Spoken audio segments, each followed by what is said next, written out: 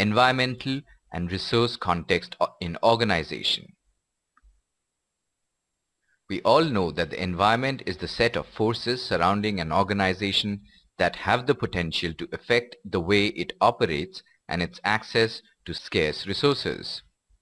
In this lesson, we will discuss the forces of organization environment, describe the general and specific environment, explain the Lawrence and Lorsch theory of environment, describe the theories of organizational change, and state the transaction cost theory. After going through this presentation, you should be able to explain organizational environment, general and specific environment, sources of uncertainty in organizational environment, Lawrence and Lorsch theory on environment fit, theories of organizational change, and transaction cost theory. Forces in the environment that affect an organization's ability to secure these scarce resources include competition from rivals for customers, rapid changes in technology, increase in price of inputs. All these factors erode an organization's competitive advantage. Environment includes five factors. First is economic. Economic environment refers to all forces that have an economic impact on business. There is a close relationship between business and its economic environment. Second is Politico-legal. The three political institutions, legislature, executive, and judiciary exert influence and control business activities. A stable and dynamic political environment is necessary and is indispensable for the growth of business. Third is socio-cultural.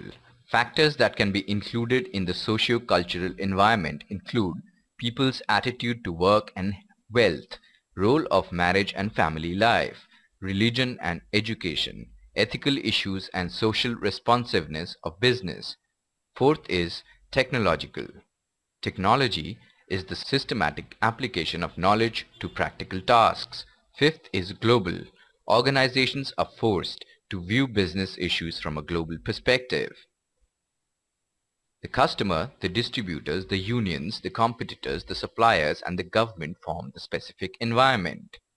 An organization attempts to structure its transactions with the environment to protect and enlarge its domain so that it can increase its ability to create value for its stakeholders like shareholders, employees, customers, etc.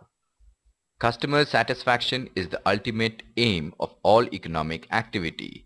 This involves more than the offer of products at the lowest possible price. An important force in the environment of a business enterprise is the suppliers, who supply the enterprise with inputs like raw materials and components. The associations formed by workers have come to be known as trade unions.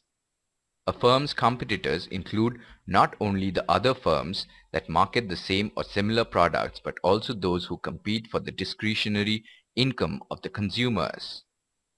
General environment.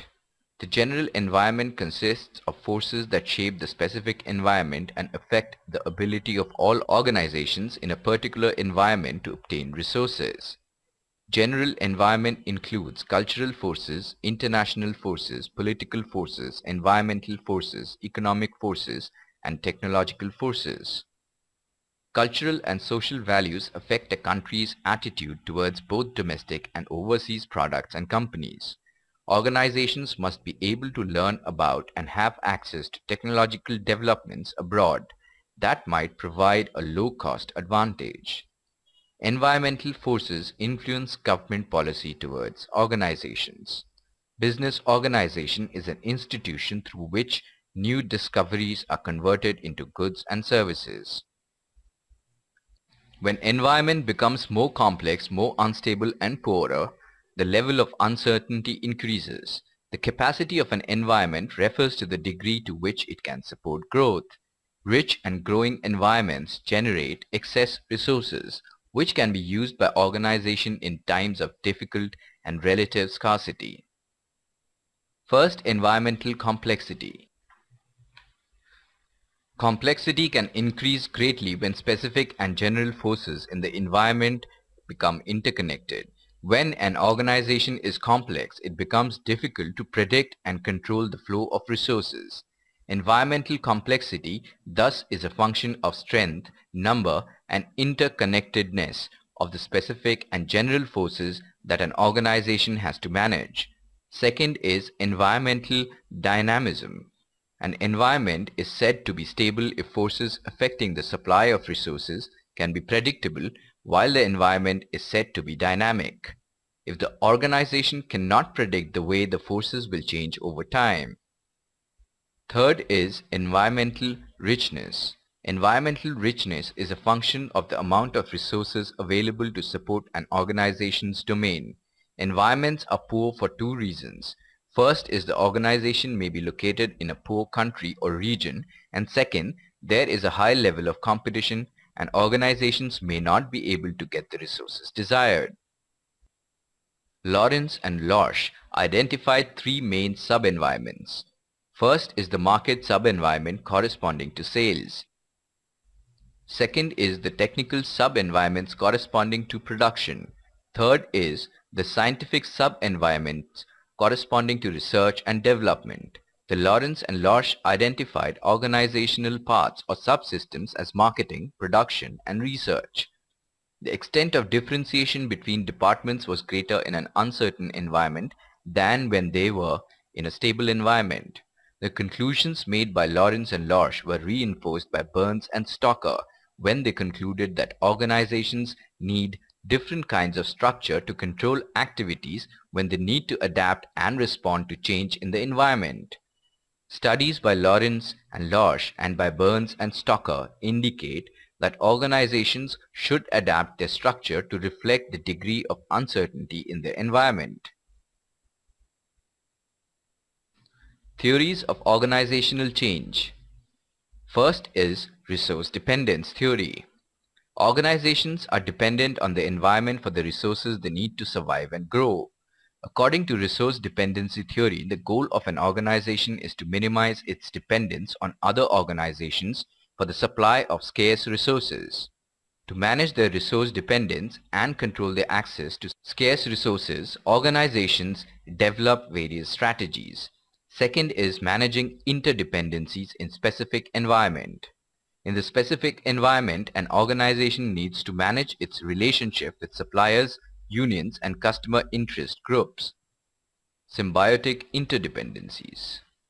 In this type of interdependencies, the output of one organization is input for another organization. To manage symbiotic interdependencies, organizations have a range of strategies such as good reputation, cooperation, and strategic alliances. Next is managing competitive resource interdependencies. Competition threatens the supply of scarce resources and increases the uncertainty of the specific environment. Competitive interdependencies are interdependencies that exist among organizations that compete for scarce inputs and outputs.